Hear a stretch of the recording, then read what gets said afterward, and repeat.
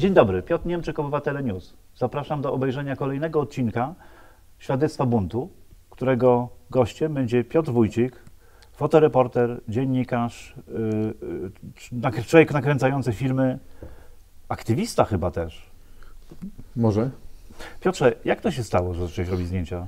No właśnie, e, jakoś nie przypadam tej historii odświeżać sobie cały czas w głowie, ale, bo to strasznie taka stereopianowa, martyrologiczna historia. E, e, zacząłem pierwsze, pierwsze zdjęcia też z takiej potrzeby dokumentowania sytuacji. Robi, zrobiłem w 82 i 3 roku jako gówniarz kompletny. Dokumentowałem mszę za ojczyznę, którą odprawiał ksiądz Popiełuszko. Jako gówniarz? Znaczy ile miałeś lat wtedy? 15. 15, no to rzeczywiście nie byłeś 16, stary. no może tak. Jeszcze e, młodociany. E, tak i tak zacząłem właściwie fotografować wtedy. Ale potem, e, potem właściwie miałem taką przerwę. Lubiłem zawsze robić zdjęcia po prostu. Ale wtedy, potem już miałem przerwę w tym fotografowaniu, takim dokumentowaniu tej rzeczywistości. Głównie e, pod koniec lat 80. na ulicę chodził Krzysiek Miller, który, z którym się żeśmy znali właściwie od początku lat 80. A ja mu wywołałem, wywołałem te filmy i, i, i, i robiłem tam w ciemni różne rzeczy z tym. A ty, a ty też studiowałeś na AWF-ie, tak jak Krzysiek? Nie, na ATK. Na ATK, a to blisko. To blisko było bardzo, ale to też była taka uczelnia przechowalnia od wojska, e, skuteczna. Więc. E, nie jesteś pierwszy, który właśnie z właśnie tego powodu wiem, studiował na tego. Wiem, wiem, wiem, mam, znam kolegów, którzy również. E, Ale powiedz, poczekaj, bo e, co cię bardziej kręciło? Znaczy, chodziłeś nam przez ojczyznę, dlatego że uważałeś, że trzeba być nam przy za ojczyznę, bo to jest jakiś wyraz sprzeciwu wobec ówczesnego systemu, czy dlatego, żeby robić zdjęcia? I to, i to. Właściwie to był taki połączony, taki aktywizm połączony z taką chęcią fotografowania. Mhm. E, trudno im powiedzieć, e, co było ważniejsze. Jedno i drugie było bardzo ważne. Bo w tym samym czasie byłem kolporterem i jeszcze w tym samym czasie później już właściwie też jako gówniarz e, byłem drukarzem. Więc mhm. wszystko razem. A co drukowałeś? W książki kręgu robiłem u Andrzeja Roznera i Tygodnik Mazowszy. O, no to drukowaliśmy tą samą gazetę. Tak, myślę, że w różnych to, miejscach ona była. ale powiedz, no to, to co, to czekaj, to już teraz, chodziłeś na demonstrację, prawda? Tak, ale na demonstrację ja mniej chodziłem, Aha. dlatego ja przede wszystkim, a, nie przepadałem y, za tego typu y, działaniem. Y, ja się bardziej, bardziej mnie to kręciło, jak po prostu jeździłem, drukowałem, przywozi, przewoziłem, e, roznosiłem i rozrzucę, zdarzało mi się u, roznosić, ulo, e, rozrzucać ulotki, więc różne rzeczy robiłem. Tak, Choć pobity. Zenek Pałka nic nie wstrzyma ruchu wałka, da? To drukowanie, no tak. No. A powiedz, e, ale ja, ja, ja, Potem nie, ja w ogóle się nie wierzę, jak ty mówisz, że nie chodzisz na demonstrację. Co, przyjdę teraz na jakąś demonstrację, zawsze tam jesteś. Tak, dlatego że y, może dojrzałem do tych demonstracji. Aha. Są tacy, którzy nie wyrośli, jak Kinga Kamińska, z którą gadałem często o tym a są tacy, którzy dojrzeli może do tego, żeby tam chodzić. Ale czekaj, chodzić w innym charakterze niż Kanka Kamińska, tak? Bo no, słuchaj, jakoś chcesz się od niej wyróżniać no, wyraźnie. No, jak zawsze, no chciałem po prostu, ja chcę patrzeć trochę to, co Kinga robi, choć e, kiedyś właściwie, jak się okazało po czasie, jak żeśmy się spotkali na pierwszej e, miesięcznicy smoleńskiej, to okazało się, że Kinga była szefową kolportażu tygodnika, a ja byłem jednym z drukarzy, ale żeśmy no. się nie znali. A, a ja drukowałem i się znałem, ja wyobraź sobie. Ale powiedz, ale powiedz, ja nadal tego nie rozumiem. To znaczy co? E, ale byłeś pewnie na jakiejś demonstracji z raz, nie? No oczywiście, że No byłem. właśnie, nie. Ale co? Robiłeś zdjęcia? Nie robiłem zdjęć, nie. Nie robiłem. kamieniami? Nie, byłem na demonstracji. O. Aha, ale krzyczałeś ZOMO. Tak. Albo gestapo raczej, tak? Tak, tak. No właśnie, no właśnie. Powiedz, no i co? I, y, Znajdzie się pała na dupę generała. Nie a, no właśnie. A powiedz, ale a jaki miałeś aparat na początku, jak robiłeś zdjęcia księdza Popiłuszki? Zenita. Zenita. A powiedz, i co? Z powodu tego Zenita miałeś przerwę, bo po prostu okazało się, że potrzebny jest lepszy aparat, nie? Słuchaj, nie, bo tym Zenitem fotografowałem tak naprawdę do 1989 roku. W międzyczasie jeszcze pożyczałem od koleżanki praktykę, co było znacznie lepszym mhm. aparatem bardziej wydajnym do tego, żeby to robić, co chciałem. Ale też, e, a potem jakby naturalnie, bardzo szybko się e, okazało, że e, właściwie, że mogę fotografować dla gazety i zacząłem fotografować dla gazety w 1989. I to była taka szkoła. I nadal tym Zenitem, czy nie? Nie, nie, już trochę potem czymś innym. Potem już Minoltą, potem żeśmy pojechali z Krzyśkiem do Berlina Zachodniego kupić sobie aparaty. Tam kupiliśmy pierwsze nasze aparaty, to były Minolty.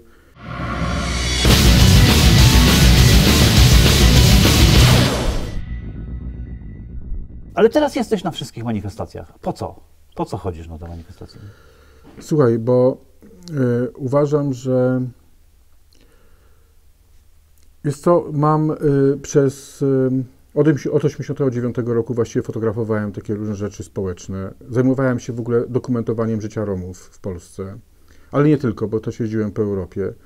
Zawsze, zawsze, byłem blisko i jakoś bardzo dobrze czułem to i czuję takie tematy związane z prawami człowieka. Jak jeździłem do Romów, to głównie szukałem w raportach Amnesty International i e, European Roma Rights Center, szukałem po prostu informacji dotyczących tego, jak w poszczególnych krajach sytuacja Romów wygląda.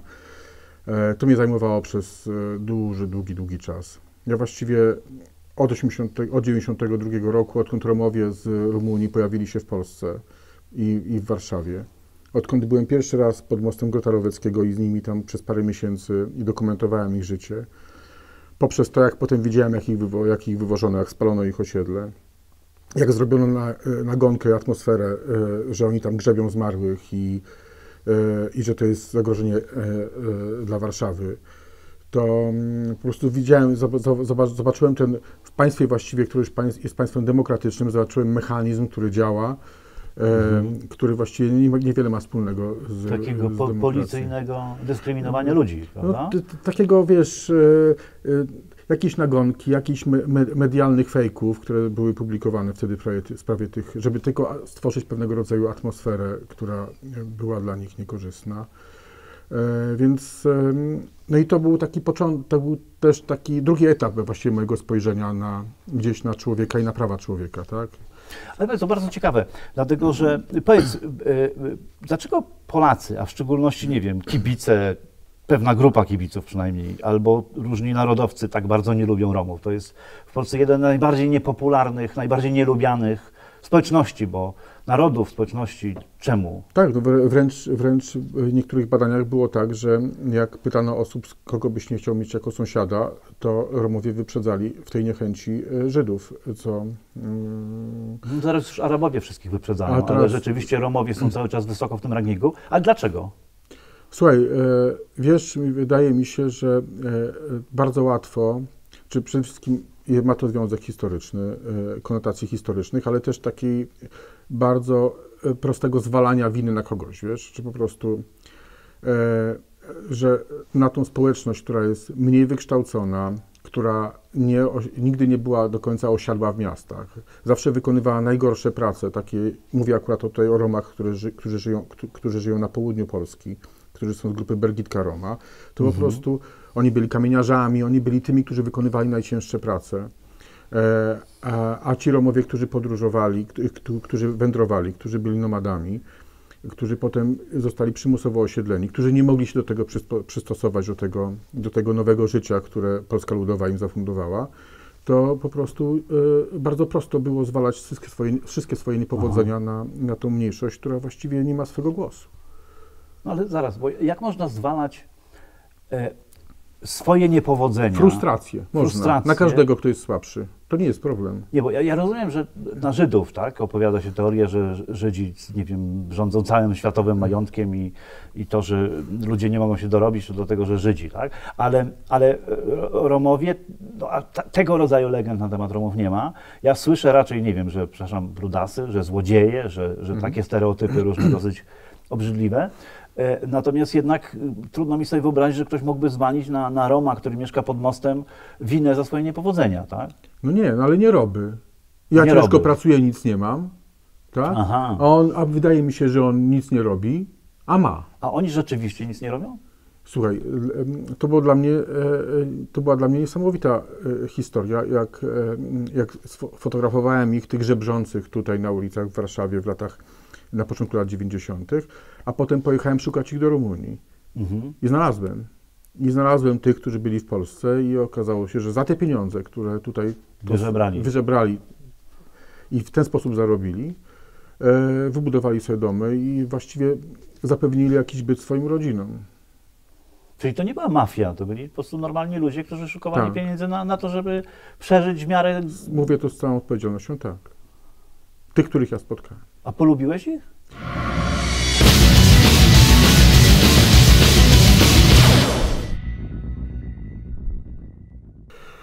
Tak, słuchaj, to jest, choć, choć to nie jest prosta relacja, ponieważ wejście w, w taką społeczność, która jest zamkniętą społecznością, bardzo grupą, grupą kastową bardzo często, jest dla nas, e, dla tego społeczeństwa większościowego bardzo często niezrozumiała. My e, chcemy, żeby się wszyscy dopasowali jakby do takiego naszego europejsko-zachodniego stylu życia, albo europejsko-wschodniego, jaki my mamy tutaj. A, a, ba- I bardzo jest nam, jest nam trudno akceptować innego rodzaju zachowania, hierarchię i tak dalej, i tak dalej, i tak dalej. Inność Przy czym pewnego rodzaju inność. I Mhm. i ja wiem, jaką ja w, sam w sobie tą pracę wykonałem. Y, Ja wiem, jak często mówiłem sobie i myślałem, że to jest, y, że, że już nie mogę. Tak? I musiałem wykonywać w swojej głowie dużą pracę, Aha. żebym, żebym postawił się w tej sytuacji obok, żebym stanął obok sam siebie i zobaczył, zobacz, y, można jednak trochę inaczej, Aha.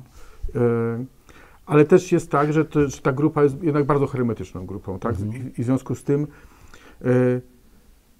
ułudą jest to, że, że możesz być w środku. Mi się w pewnym momencie wydawało, że jak już po iluś latach pracy, jak wykonałem, jak zrobiłem zdjęcia takich, których właściwie nikt tutaj w kraju nie zrobił, jak sfotografowałem Mhm. i zrobiłem portrety całej starszyźnie romskiej, takiej, tej, takiej grupy najbardziej ortodoksyjnej, e, to wydawało mi się, że, że, że przekroczyłem pewną granicę.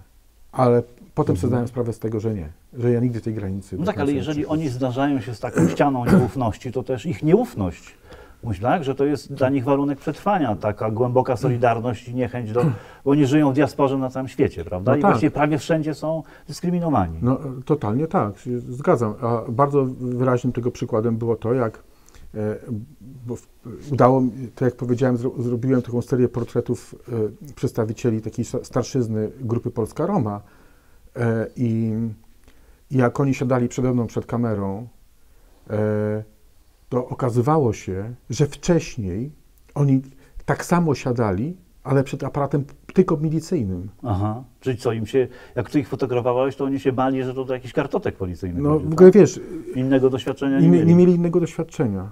I to, i, I to było bardzo wyraźnie widać. I to Muszę, muszę Ci powiedzieć, że ja miałem po- podobny proces, jak byłem oficerem Urzędu Ochrony Państwa i czytałem o arabskim terroryzmie. To potem musiałem się nauczyć e, e, polubić Arabów, e, zrozumieć, że to nie są, że tak powiem, sami terroryści mm, i, i zacząć rozumieć ich w ogóle, kulturę, e, e, to, że to nie są leniwi złodzieje, tylko, Tylko- że oni są pracowici, co zresztą każdy, kto pojedzie gdzieś do Af- Afryki Północnej, to, to, to zobaczy, że w tych hotelach po prostu pracują jak mrówki.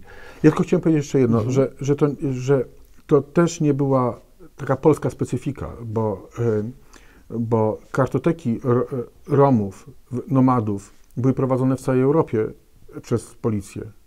To, to nie tak, że to my tutaj tylko. y, To, Nie, tak nie, to, prostu to ja nie mam wątpliwości, że te stereotypy są dużo bardziej uniwersalne niż tylko nasza polska ksenofobia. Oczywiście, nie mam żadnych wątpliwości. No dobrze, ale przestałeś już e, fotografować Romów, teraz chodzisz na demonstrację. Co, to co, widzisz jakieś podobieństwa, że co, że ten element animalny, który na, na występuje na demonstracjach, czy ci obywatele gorszego sortu, czy to jest trochę tak jak z tymi Romami, tak, że trzeba ich od, odkłamać przed y, oglądaczami TVP Info? Słuchaj, y, wiesz co, to, y, to nie jest taki u mnie, czy nie wiem, nie, nie potrafię tego w, w, y, aż tak, y, tak to przenieść do TVP Info, tego co ja robię i w ogóle jako takiego, jako, jako czegoś, co jest po drugiej stronie tego, tej, tej, tego kłamstwa, które się stamtąd wylewa. Natomiast ja, ja po prostu patrząc na to, co się dzieje i, i nawet widząc różne rzeczy, które e, są złe, były złe, się źle działy, to miałem wrażenie, że jakbym nie reagował, to bym zaprzeczył kawałku, kawałka, kawałko, zaprzeczyłbym części swojej historii. No tak, bo kiedyś byłeś w tej samej roli, prawda? tak, i, i, i, i jakbym się na to zgodził, jakbym powiedział, nie, okej, patrzę na to z, z dystansu, mogę sobie oceniać przy winie z różnymi moimi przyjaciółmi, siedzieć po prostu, popijać do, jakieś tam wino i, i opowiadać o tym o, i wyrażać swoją niezgodę, to uważam, że, że, że, że muszę to robić ja. Ja Aha. y, tu teraz na ulicy, y, dokumentując, dokumentując to, co się dzieje, dokumentując działania e, e, aktywistów, ludzi, którzy, którzy coś robią na ulicy, ale też dokumentując to, jak wygląda w tej chwili polska ulica, czyli jak, jakie demonstracje się mogą odbywać i jakie hasła po prostu w tej sferze publicznej mogą być wygłaszane. To zaczynam mieć wątpliwości, czy że słusznie Cię zaprosiłem do programu Świadectwa Buntu.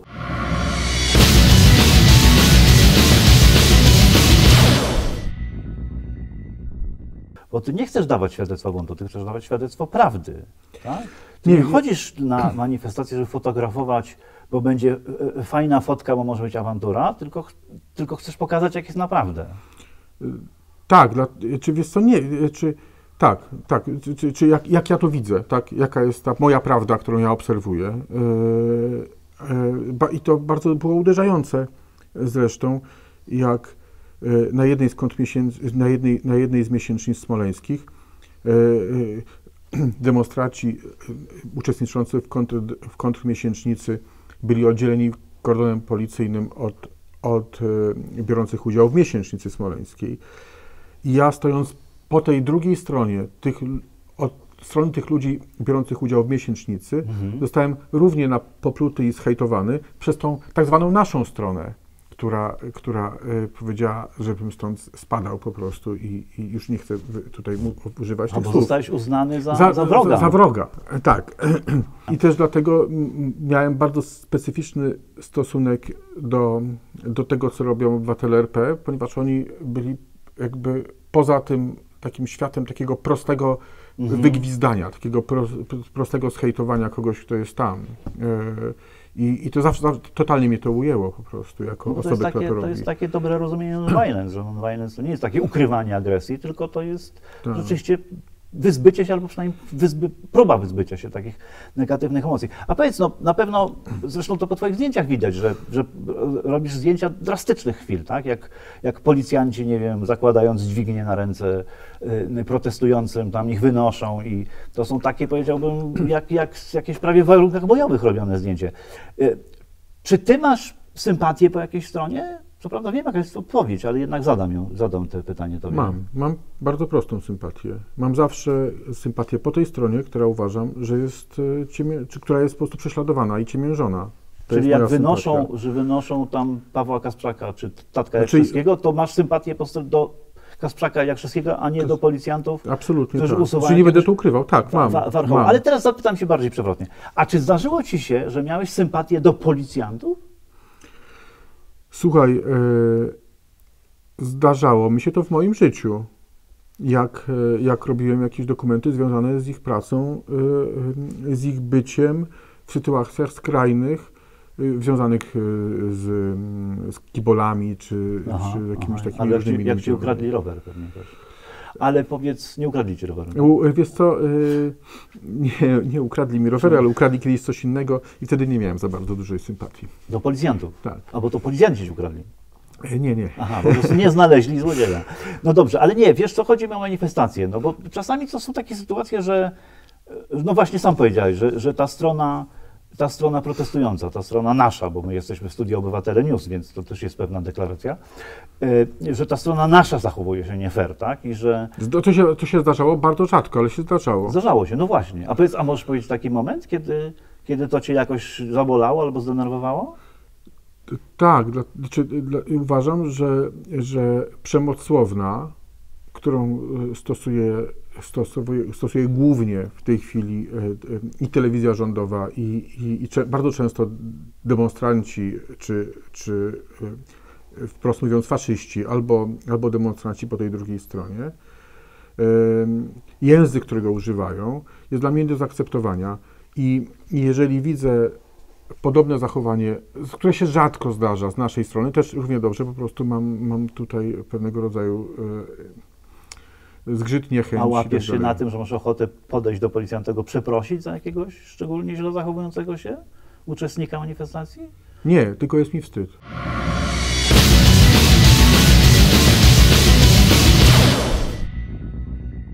A powiedz, bo przez wiele lat byłeś fotoreporterem Gazety Wyborczej, tak? No w pewnym sensie dalej pracujesz dla Gazety Wyborczej, tylko już w jakiejś w innej sytuacji, bo jesteś ten. A powiedz, e, na przykład, czy masz jakieś doświadczenia ze świata właśnie, z dokumentowaniem różnego rodzaju protestów, manifestacji, rozruchów. Słuchaj, y, byłem świadkiem y, y, we Francji działań policji i to, mm, jak No, to żandarmeria francuska jest Ma- uznana za wyjątkowo brutalną. mam wrażenie, że tutaj, tak jak mów, powiedziałeś tutaj przed chwileczką, że to co, to, co filmuję jest jak warunki bojowe. Nie, to nie są warunki, to jest lajtowa sytuacja tak naprawdę. Mam nie, ale te zdjęcia czasami są bardzo drastyczne, to trochę o tym mówię. No, ale... Są, tak, ale cała sytuacja właściwie jest, częst, też z punktu widzenia kogoś, kto to dokumentuje, jest lajtowa. No. Mhm. Czy w ogóle, jeśli miałbym porównać momenty, w których mi się zdarzało być w sytuacjach nie demonstracji, ani nie wojny, ale slumsów, gett, gdzie, gdzie byłem, skąd musiałem uciekać, gdzie czujesz się samotny, y, gdzie nikogo nie masz, to tutaj, gdzie, gdzie nikt tego nie obserwuje i nikt tego nie dokumentuje, Mhm.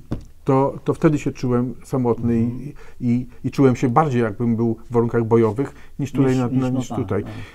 Równie Znaczy do, mi chodziło oczywiście o dynamikę zdjęcia, a O, nie o, o. poczucie zagrożenia. ale poczucie zagrożenia totalnie mam i miałem za każdym razem, jak byłem na, na marszach faszystowskich. Znaczy na No, marszach. ONR-u i, i, i tak, bo, bo ponieważ na, w- wtedy, kiedy była blokada, y, y, próba bl- y, przez 14 y, dziewczyn y, blokady y, Marszu Niepodległości, blokady, trudno nazwać to blokadą, tak, tak. znaczy próby w ogóle wyrażenia swojej, swojego na ten temat zdania, to, no to tam po prostu czułem się, tam byłem w strachu. Po No prostu tak. się bałem, no, ponieważ, ponieważ wielokrotnie, wiesz, byłem opluty, pot, popychany, o, wyrywane były kable z kamery. Mhm. y, y, co chwila słyszałem, że, że, że, że zajebiemy cię z celu po prostu i tak dalej, i tak dalej, i tak dalej. W związku z tym, a byłem tam, jed, dziewczyny były, które były w centrum I ty. i, i było i, i jeszcze jakieś tam dwie, trzy osoby i nikogo więcej. Mhm. Ja y, y, i wtedy się czułem zagrożony, tak. Czułem się również zagrożony na innych marszach związanych z... z, z Ale poczekaj, bo chciałbym dopytać o tę sytuację. Ale co, czułeś się zagrożony właściwie i agresja była wywołana tylko tym, że jesteś i fotografujesz i Tak. nie jesteś ich, tak? Tak. Bo rozumiem, A ja nie wiem, czy oni- nie, nie przekonywałeś ja, a, ja, a ja, ja nie miałem na czole napisane, czy jestem ich, czy nie jestem No ich. tak. Znaczy po prostu sam fakt ich jakiejś tam brutalnej Tak. akcji y, y, y, spowodował tą agresję. Ale teraz wróćmy do tej Francji. To znaczy, rozumiem, że oglądałeś brutalne, brutalne akcje francuskiej żandarmerii. Czy to było przy okazji, nie wiem, żółtych kamizelek, czy to jeszcze dawniej Nie, było? dawniej, Dawniej, prawda? Ale powiedz mi, a jak na przykład obserwujesz, czy widzisz różnicę, że fotografujesz jakieś zamieszki w Polsce, a zamieszki we Francji czy w jakimkolwiek innym świecie? Czy to jest ciekawe dla mnie? Czy, czy te twoje wybory, to twoja ocena moralna jest taka sama? Czy twoje sympatie się podobnie rozkładają, czy nie? Wiesz co, ja y, mam wrażenie, że y, y, tak, mogę to powiedzieć chyba, że wydaje, wydaje mi się, że jak dopóki nie mam y, kamery szkła przed okiem, Aha. y, to odbieram to wszystko bardziej osobiście i bardziej analitycznie. W momencie, kiedy y, z- mam aparat przy oku, mi, sorry to powiedzieć, to jest dosyć brutalne, ale zależy mi wtedy na dobrym ujęciu, żebym je miał. A nie, w ogóle nie analizuję mm, jak- żadnych, Jak z żadnych Mickiewicza po prostu. Szkiełko i oko powoduje, że tracisz empatię. Tak? W jakimś sensie tak jest. Ale powiedz, no dobra, ale to wróćmy teraz. Zanim przyłożysz kamerę do oka i, i widzisz starcie studentów, y, nie wiem, związkowców francuskich z żandarmerią, to tak po której stronie się... Masz jakieś takie w ogóle się zastanawiasz? Tak, po za, której czy, tak, czy mimo wszystko zawsze jestem po stronie demonstrujących. Czy to anarchista jesteś po prostu, No, tak? Może coś w tym jest. Aha. Nie, ale rozumiem, że nie jeździsz na demonstracje, gdzie zorganizowane grupy przestępcze y, walczą z policją, prawda? Ale Znaczy, albo- by, by, albo bywałem na, na, na, na, kib, na kibolskich imprezach i to... I to e, A tam jak? Wolisz policjantów, czy nie? Nie, tam, e, Woli. sorry, wolę policjantów. wolisz policjantów. Aha. No, tak to jest, no, niestety. A powiedz, e, a jest jakieś twoje zdjęcie, które szczególnie lubisz? Ja nie mówię o zamieszkach w ogóle. Jest parę pewnie takich, które zrobiłem. E, e, Mi się wydaje, że cała ta historia romska to jest, to jest coś, do czego się bardzo często odwołuję, bo to działa na moje emocje. Aha. Ale też e, mnóstwo, rzeczy, mnóstwo zdjęć związanych z polityką 89 rokiem i 90 rokiem. Aha. Wiesz, są takie, jest e, pierwsze, jedno z nielicznych takich pierwszych zdjęć Jacka Kuronia w Sejmie. On stoi na korytarzu sejmowym po prostu i, i patrzy się przed siebie, czuł się totalnie zagubiony. Ja pamiętam tą sytuację po prostu y, i, i nie wiedział, gdzie ma iść.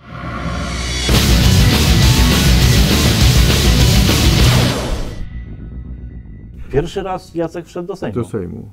Więc y, są A to takie złapanie takiego, takiego momentu, takiej chwili, prawda? To Tak. świetne. Ale takie, które w tobie wywołuje, nie wiem, wzruszenie na przykład. E, Strasznie trudno mi. Dużo jest takich sytuacji, dużo jest takich zdjęć, ale tak jak powiedziałem, e, ja bardzo dużo też rzeczy społecznych robiłem w Polsce e, w latach 90. i po. Em, PGR-y, takie upadające te PGR-y, czy jakiś, jak- jakichś be- bezdomnych na, na dworcu centralnym i tak dalej, i tak dalej.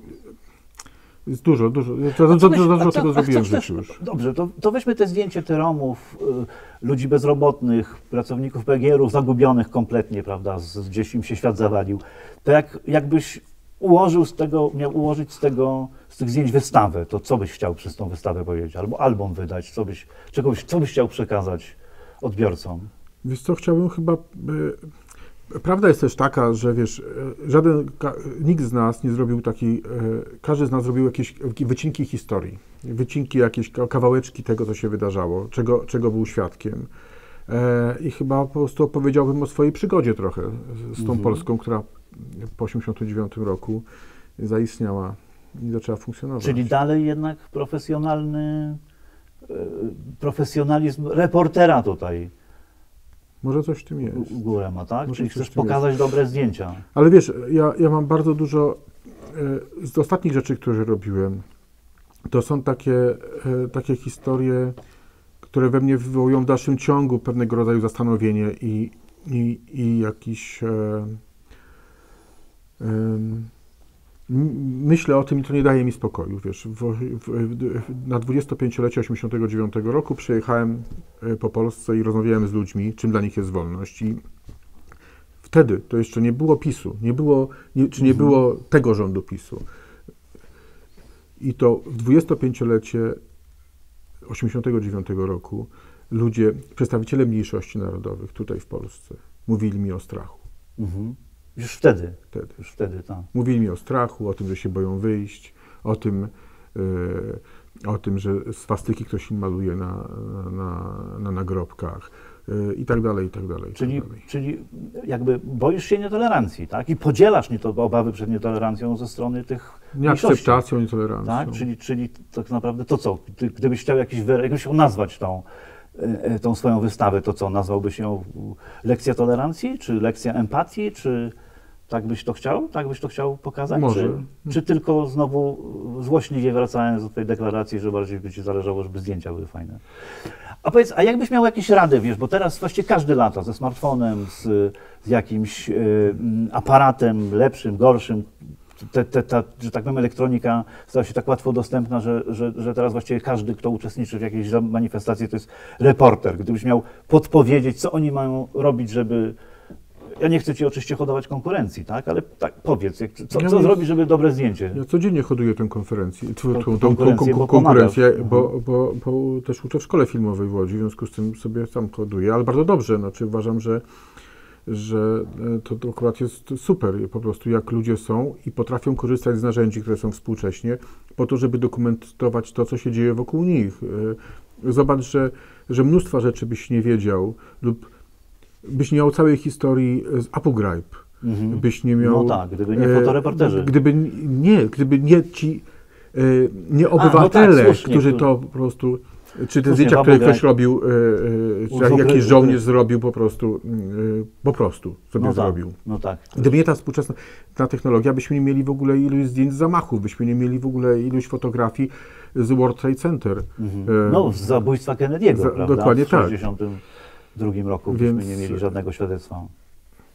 Więc to wiesz, jest, e, to jest Czyli to dobrze, ważne. że ludzie dokumentują. Absolutnie. To jedna z podstawowych rzeczy. No dobrze, ale powiedz mi, czy jest jakiś klucz do dobrego zdjęcia, a szczególnie takiego zdjęcia, kiedy jest jakaś dynamiczna sytuacja? Fotografia to jest moment i wyczucie. Aha, Jak potrafisz nacisnąć w pewnym momencie spust migawki, to talent. masz. Talent. Krzysiek Miller mówił, Trzeba się trzeba zawsze podejść jak znaleźć. najbliżej. To, to, jest, to jest słynne stwierdzenie kapy i, i dużo, w dużej mierze prawdziwe. Natomiast e, trzeba znaleźć się na, przede wszystkim w odpowiedniej sytuacji, w odpowiednim momencie. Trzeba chodzić na demonstrację, tak? Dokładnie tak. Prawda? No właśnie.